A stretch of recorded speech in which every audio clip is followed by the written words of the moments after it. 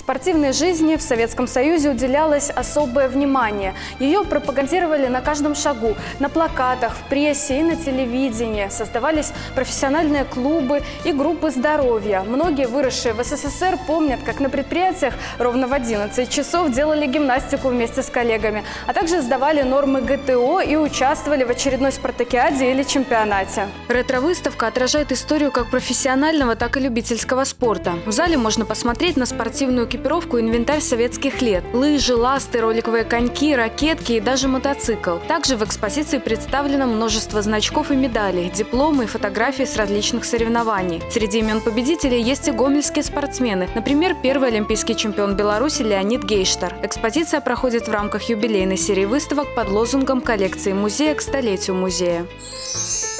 Еще одна выставка в той же тематике – это «Закулисье побед» минского фотохудожника Евгения Змушко. Она открылась в Музее истории печати и фотографии Гомельщины. На экспозиции представлено 30 работ, отражающих красочность и сложность тренировок гимнасток. Посетители могут увидеть закулисную жизнь соревнований. В объективе Евгения Змушко – история трудного пути к успеху белорусских спортсменок.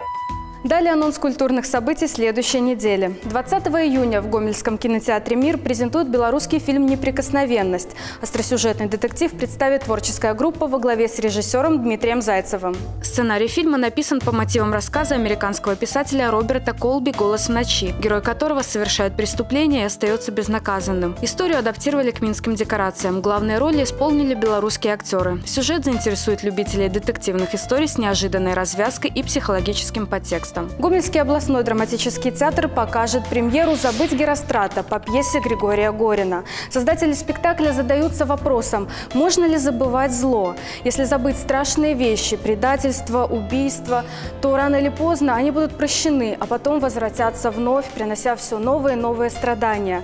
Эту постановку посвятили 80-летию областного драматического театра, которое будет праздноваться в декабре этого года. Самыми интересными культурными событиями региона вас знакомили Анна Корольчук и Евгений Макеенко. Обзор подготовлен специально для программы «Новости недели».